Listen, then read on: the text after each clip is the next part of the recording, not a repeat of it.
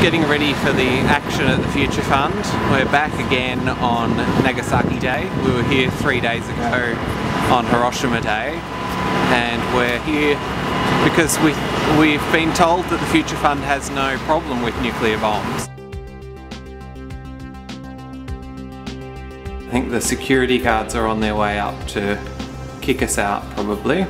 Just waiting because you know um, the Future Fund think that nuclear bombs are nice, and we, as nuclear bombs, we thought that they might give us refuge. So we, we're, we're waiting until we get an answer from the Future Fund um, about whether they're going to divest from nuclear weapons companies. The fund uh, invests $227 million in companies that produce nuclear We don't mind weapons. you guys are out the front of the building, but definitely not onto the, the level itself. Mm-hmm. So, or if this was going to happen, you need to let us know prior. Not hey, yeah, we just received a phone call then.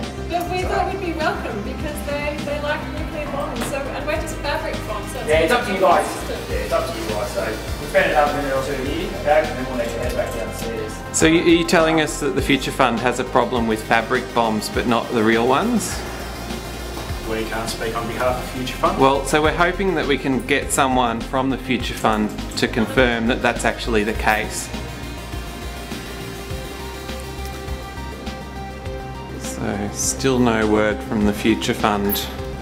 It's a bit insensitive because it's the 68th anniversary of the bombing of Nagasaki.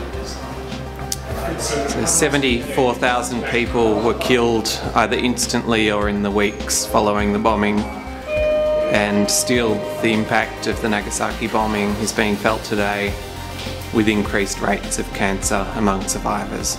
We've just been told that the, someone from the Future Fund is about to come and talk to us.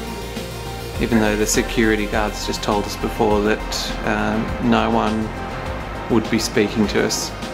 Um, they've also told that they've, they've called the police, so the police uh, are on their way.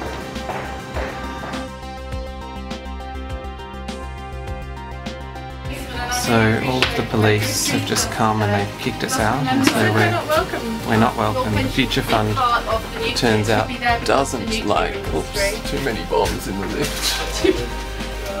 How many bombs can you give me? Okay, so they're taking us out some back way, I guess, so that we don't we don't cause disruption in the foyer. They don't like having nuclear bombs in the foyer. It's a bit cold down here. Yeah. It's nuclear weapons by the back door. It's shown out the back door.